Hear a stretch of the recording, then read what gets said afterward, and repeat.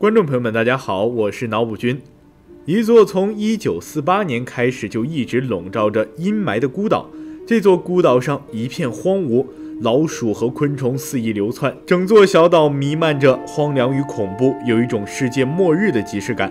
不仅如此，岛上的环境令人毛骨悚然，似乎每一个来到这里的人就像是中了邪一样。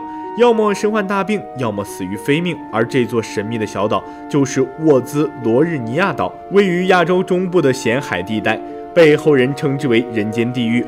而它就是我们今天的故事的主角。就在二十世纪七十年代，一对苏联科学家来到这里进行考察。由于岛上的地形比较复杂，他们很快便迷路了。就在寻找出口的时候，突然遇见一团诡异的浓雾环绕在四周。他们赶紧加快脚步，想尽办法离开这里。然而，这一切都为时已晚。队伍中一位年轻的女科学家开始剧烈的咳嗽。起初，她并没有在意，不曾想几天的时间过去了，身体的症状并没有见好，反而发起了高烧，浑身酸痛，四肢无力，皮肤上起了一片又一片的皮疹。出乎意料的是，他竟然被医生诊断为是天花。要知道，在这之前，他曾接种过天花疫苗。那为什么在去过孤岛之后，还会得上这种烈性的传染病呢？难道说这个地方有一股神秘的力量，连疫苗都无法保护他免受感染吗？所幸他及时接受了治疗，逃过一劫。但命运却是不公平的。与他同行中的还有三人出现了类似的症状，最后却不幸死亡，其中还包括他的弟弟。然而，在这座小岛上，一起离奇的传染病死亡事件并不是一个终点，反而是接二连三发生起来。一年之后，有人发现小岛附近漂浮着两具失踪渔民的尸体。后来，小岛周边莫名其妙地出现了大量的死鱼，紧接着岛屿上的羚羊也突然暴毙。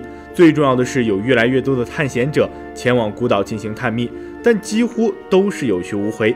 有关小岛夺命的传言也愈演愈烈，人们依然认为这是一个有着诅咒般的地狱。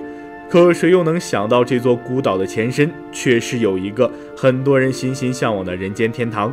几个世纪以来，这座小岛被世界第四大湖泊咸海所环绕，拥有品种丰富的鱼类。在食不果腹的年代，岛上的人们却早早过上了自给自足、富饶的生活。不光是如此，由于地理位置较为独特，在战乱的时候，这里还是一块相对安全的避风港。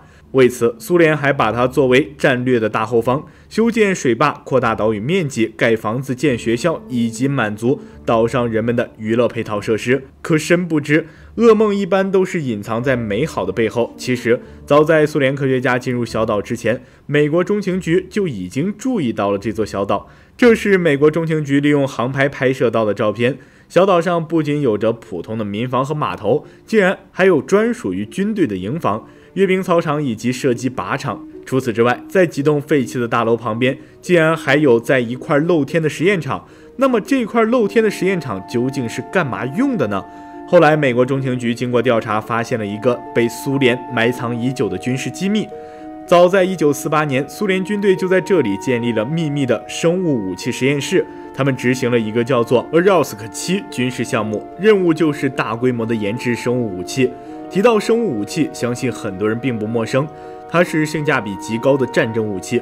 曾有科学家估算过，如果要造成一平方公里内高达百分之五十的死亡率，用常规武器的话需要花费两千美元，核武器的话需要花费八百美元，化学武器需要六百美元，而生物武器是最便宜的，仅仅只需要一美元。那么，面对这样物美价廉又具有巨大杀伤力的生物武器，虽然有点惨无人道。但在战争年代，有些国家还是愿意铤而走险的。就比如臭名昭著的日本七三幺部队，当年他们抓走了大批量的中国人，对其进行了生物武器实验。后来日本战败，这些报告又被苏联偷偷拿走，作为研究借鉴的依据。这座孤岛就是最好的证明。经过美国中情局调查发现，孤岛上存放着大量炭疽杆菌和天花病毒等各式各样的生物武器。这其中威力最强的莫过于炭疽杆菌，它的恐怖程度完全不逊于埃博拉病毒和软病毒，因为当它接触到皮肤后，就会留下黑炭一般的焦黑色水泡，皮肤周围还会产生肿胀。除了皮肤传染之外，灰疽病还可以通过呼吸道以及消化系统进入体内，炭疽杆菌在生物体内会迅速的繁殖，并释放炭疽毒素，最终入侵血管，攻击体细胞，导致细胞破裂，造成大面积组织的损伤和内出血。如果得不到及时治疗的话，呼吸道感染的炭疽病致死率高达百分之八十五，即便是得不到治疗，死亡率也可达百分之四十五。这还不算什么，炭疽杆菌最可怕的是它顽强的生命力，在恶劣的环境中，炭疽杆菌会退化成休眠状态的炭疽芽孢，撑上几十个年头都是绰绰有余。就算被感染的宿主尸体已经腐化，炭疽孢子还能躲在土壤里等待下一次的复活。当然，除了传播渠道多样、生存能力强大之外，传播能力超强也是炭疽可以成为生化武器的重要原因。每一克炭疽杆菌粉末当中就含有超过一万亿炭疽孢子。如果在一座拥有五十万人口的城市的上风口处，沿着一条长两公里的线路喷洒一百一十二磅炭疽孢子，最终可以导致十二点五万人染病，九点五万人死亡。一场小小的实验就足以让人类见证炭疽武器的厉害。一九四二年，英国人在一座名叫格鲁伊纳的荒岛上进行了生物武器实验，让一颗带有炭疽粉末的导弹在岛屿上空爆炸。仅仅三天之后，岛上的牲畜便开始大规模的死亡，死相极其恐怖，浑身流血，瘫倒在地。虽然实验人员对尸体进行了焚烧和掩埋处理，但在三十多年后的一九七九年，科学家针对岛上的土壤进行采集，发现每克土壤中依然存活着三千到四万五千个炭疽孢子。最后，英国只能用近三百吨的甲醛杀毒液洒满了岛上的每寸土地，才算解除了这场生物危机。可就算是这样，这座小岛至今也无人敢进，成为了真正的无人区。然而，沃兹罗日尼亚岛就没有这么幸运了。自从1991年苏联解体后，这里的科研人员便开始大批撤离，留下大量未经妥善处理的生物武器。由于无人管理，许多装有生物制剂的容器发生了或多或少的泄漏，最终让这座小岛变成了不折不扣的剧毒孤岛。实际上，苏联并不是第一次干这种事了。震惊世界的炭疽武器泄漏事件就出自于苏联的手笔。这起事故也被称为历史上的“生物切尔诺贝利”。当时，苏联研制生物武器的基地还不在这座小岛上，而是在斯维尔德洛夫斯克市十九号营区，一个挨着陶瓷厂的秘密军事基地。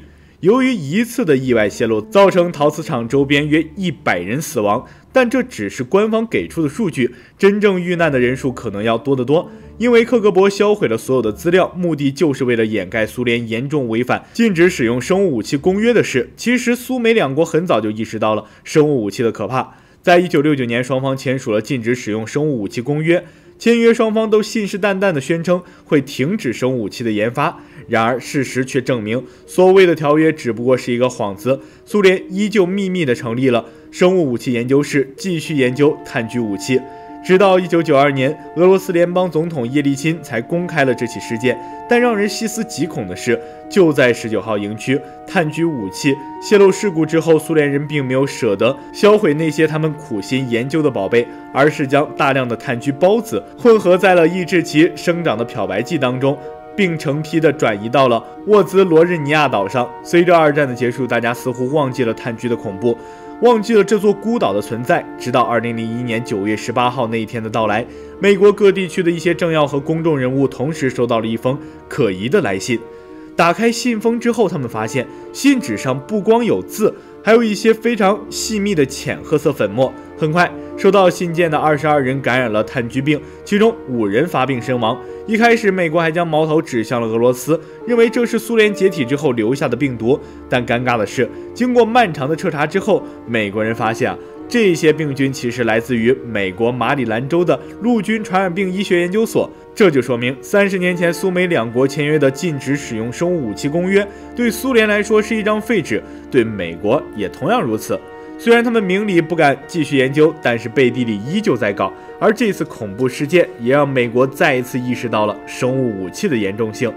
于是，在二零零二年的春天，美国组织了一个一百一十三人的团队，他们全副武装来到了这座小岛上，就是为了清除这个世界上最大的炭疽危险地。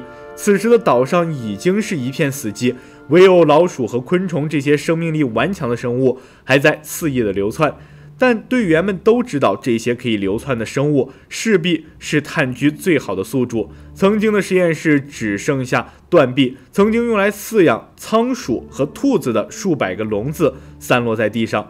从实验室遗迹里那些融化的试管和培养皿就能看出，苏联人离开的时候放了一把大火，想把这一切都毁掉。但仅仅十五分钟之后，队员们的防毒面罩过滤器就开始报警了。呼吸器的滤芯已经饱和，很快就不能再使用了。可想而知，这座小岛上有多么的恐怖。考察队员们决定当天就离开沃兹罗日尼亚岛。在临行前，一名队员在笔记本上写下了这样一句话：“岛上的污染状况比想象中的要好很多。如果能够进行一次彻底的消毒喷洒，也许可以消除这里的危险。希望这座重生之岛上。”炭疽永不重生。